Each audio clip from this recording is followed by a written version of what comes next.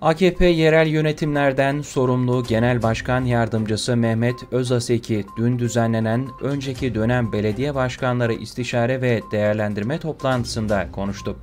Şarkıcı Mustafa Ceceli'nin Kabe'den kendisini aradığını ifade eden Mehmet Özaseki şunları söyledi. Beni bir müddet önce Kabe'den Mustafa Ceceli aradı. Dedi ki Mehmet abi ben haçtayım ama tavaf edemiyorum. Mustafa hayırdır dedim.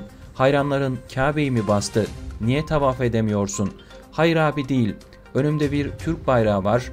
Bütün hüccac, esmer, uzak doğudan gelmiş sarı benizliler, küçük boylular önce geliyorlar, Kabe'de beni durduruyorlar, bayrağı öpüyorlar, sonra da elimden tutup Kabe'ye çeviriyorlar, benim elimi açtırıyorlar. Recep Tayyip Erdoğan diye duaya başlıyorlar dedi. Önce Kabe'den Mustafa Ceceli aradı bildiğimiz bir sanatçı, küçük genç kardeşimiz. Dedi ki Mehmet abi ben haçtayım ama dedi tavaf edemiyorum. Mustafa ne oldu hayırdır dedim. Hayranların Kabe'yi mi bastı? Niye tavaf edemiyorsun? Hayır abi değil dedi. Önümde bir Türk bayrağı var. Bütün hüccaç, esmer, uzak doğudan gelmiş sarı benizliler, küçük boylular, hiç tanımadığım milletten insanlar önce geliyorlar Kabe'de beni durduruyorlar.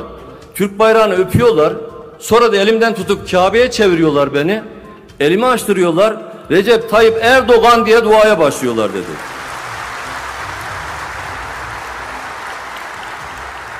Hiçbir siyasi kurum ve kuruluşa bağlı olmadan gerçekleştirdiğimiz bağımsız yayınlarımız için videolarımızı beğenmeyi, kanalımıza abone olmayı unutmayın.